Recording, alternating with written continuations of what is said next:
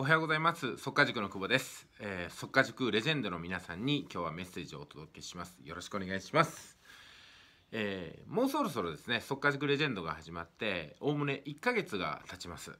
さあこの間に最も難しいことは何なのかというテーマについて今日は2つお届けします。一つはですね何が、ま、難しいかというと真似るということが難しいんですよ。真摯に真似ると。100%真似るってことは非常に実は難しいことに気づいたと思うんですよね。教材はある。マニュアルはあるその通りに上から1行ずつ理解もできる。日本語が書いてある。サポートもある。でも真似ることができないんですよね。例えば提出フォーマット。これで出してくださいね。と言っても自分のオリジナルで出してしまうんですよね。そうすると評価もサポートも正しくできないので遅れてしまうんですよ。遅れるだけならまだしも結果の出ない方向に向かってしまうんですよね。それをこういうふうな例えがあります。ここにゴールがありますね。でスタートがありますと。でコーチがいますと。で走る人走者がいますよね。ゴールに用意ドンで向かうわけなんですよ。ではコーチがですねこっちの方向がゴールだからこっちの方向に寸分たがわずに走ってくださいと。いうふうにして走るノウハウを教えます。さあ走るノウハウを正確に学んでコーチの指し示す方向に正確に進んだ人はどうなるでしょうかと。ゴールにたどり着きますよね。でも自分のオリジナルの方法で走ったり自分がこっちがゴールじゃないかなと思った方に走ってしまえば永遠にゴールにはたどり着きません。そればかりがですねゴールの方向には向かっているけどもちょっとぐらいまあいいんじゃないのかなということで走る角度を1度1度ちょっとずらしただけでそれを続けてしまうとゴールからそれてしまうんですよ。たった1度ですよ。たった1度なのにゴールにはたどり着かないんですよ。でたった1度2度でもたどり着かないわけですから全部が結果出ないことになってしまいます。だから100% 100個の項目を決められたら100個全部を従わないとゴールにはたどり着かないんですよね。これは学校教育でも同じですしスポーツでも一緒ですし習い事お稽古作法全て一緒です。コミュニケーションも一緒です。パソコンの使い方も同じです。一番簡単なのはパソコンの使い方なんですよ。キーボードとマウスしか使えませんのでね。一番簡単です世の中で。同じようにキーボード叩いて同じようにマウスをやれば同じようなプロと同じ結果が出るのになんでねプロと同じ結果が出ないのかっていうのは自分のやり方をそこに入れてしまうんですよ。ね、例えば提出フォーマットが決められているのに自分の書き方で出すということはもう完全に提出フォーマットというかねあの教わった方法を守っていないってことなんですよ。守っていなければゴールにたどり着きませんから稼げないですね。結果出ませんよね。だから同じようにやりましょうってことなんですよ。同じようにやるともう皆さんもお分かりお分かりだと思うんですけども同じようにやると同じような結果が出る。そして間違った時にどこが違うのかが的確に指導できるんですよ。だから失敗からの回復が早いんですよね。ここを周波リの主と呼ぶ人がいるんですよ。さあ分かったでしょうかね。100%真似ることがなぜ難しいか。それは自分勝手なやり方をこう取り去ることがもう一人一人できないからなんですね。では今日のテーマで2つ目の大事な点を申し上げます。その2つ目の大事な点っていうのはズバリですね。習慣。習慣の恐ろしさです。えこのサポートっていうのは何のために行っているかというと正しい習慣を身につけていただくためなんですよ。この正しい習慣を身につけるのは毎朝毎晩繰り返すことでしか習慣っていうのは身につきません。習慣ですからね。ではなぜこのね習慣が多くの方が身につけることができないかっていうと今までの自分勝手な稼げない結果の出ない人とうまくコミュニケーションができない課題をこなせない時間通りにできないっていう風な失礼しました。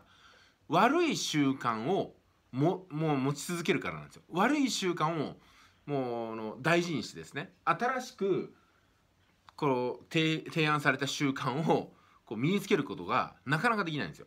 今までの悪しき習慣悪い習慣を放棄して新しくって稼げる習慣いい習慣とってもコミュニケーション豊かになる習慣受け取る力があものすごく高まる習慣っていうのを身につけなければならないのにそれをなかなかせずに今までの習慣を引きずってしまうんですよね。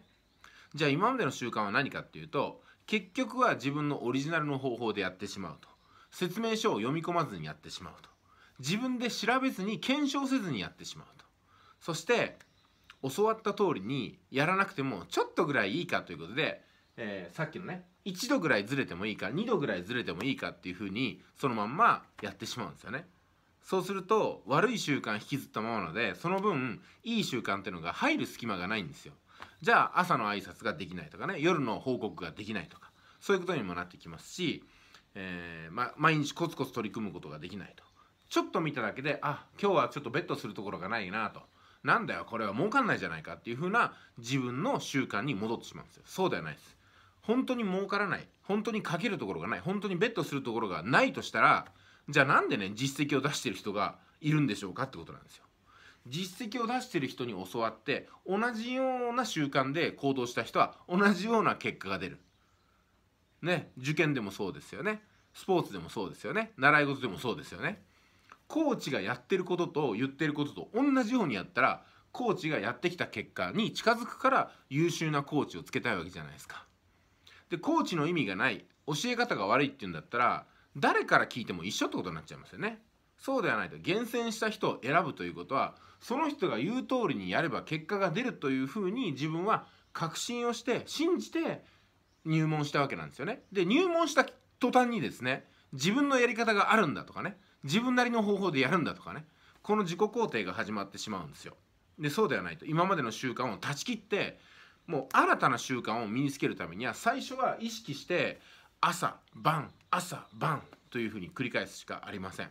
そうすることによって古い習慣がどんどんどんどんところてんのように押し出されて新しくて良い習慣稼げる習慣人とうまくコミュニケーションが取れる習慣が身についてくるんですよね。じゃあそれも1日2日では習慣は身につきません。本当のところ言うと30年生きてきた人には30年の習慣の入れ替えというね莫大な時間が必要です。ただ私たちもねプロですからそんなに時間をかけません。3ヶ月でその習慣を入れ替えてみせます。ただですね言う通りにやらないというこの一点を頑固に守り続けてしまうとどんなに優秀なコーチやメンターであろうともこっちがゴールですよって言ったのにあっちの方向こっちの方向自分の判断で行ってしまうようでしたら我々がですねもう本当に首に縄をかけて強制的にやらせるしかなくなってしまいます。まあ、いわゆるそれがスパルタというものです。まあ、我々はねスパルタで叩いたりなんだり脅したりとかいうことはありませんけどもあの一番怖いのは皆さんの人生がどういうふうになっていくのか皆さんの未来があなたを脅していくということなんですよ。ここにね想像力を発揮させていかないと本当に後がなくなっちゃいますんでね、えー、今日は厳しいメッセージになりましたけども大事なことを2つ申し上げました。100%守るということ。2つ目は習慣を身につけるということ。この2つを強く意識して毎朝毎晩のこのねレポート報告ご挨拶この辺をやっていただきたいと思います。習慣を身につければ全てうまくいきます。習慣を身につければ100%真似ることができるようになります。はい。それではメッセージの最後になりますけどもあと1分半ほどお話しさせていただきます。それは私の習慣です。私の習慣ね。私はですねご存知のようにアフィリエイトや情報発信によって今の地位を築きました。ではアフィリエイトをするためにどのようなことをしたかというとまずアフィリエイトのことが書いてある本を買いまくってブログを読みまくっていわゆる成功者の体験を100%コピーすることにしたんですよ。その中でサイトの量産っていうのがありましたのでサイトの量産をやりました。サイトの量産のその作成量っていうのは1400です。1400個サイトを作りました。そうすると8ヶ月かかりましたけども月収100万を突破しました。これだけなんですよ。ほとんどの人はサイトを100個作る前にやめてしまいます。100個作れないんだから1000個なんて絶対作れませんよね。だから儲からないんですよ。こういう現象がありますよね。それからメールマガジンの読者さんも私2万人いますけどもこれも1人ずつ集めました。2万人集める人はほとんどいないです、うん、1000人集める人もほとんどいないです。だから私は買ってこれたんですよ。ただ本当に真似てやっただけなんですよ。100%真似ただけなんですよ。ただそれだけです。はい。そこに自分の意思は全く入れませんでした。自分の意思ってのを全部放棄してマシンのようにですね。やり続けただけなんですよ。自己判断全く入らなかったです。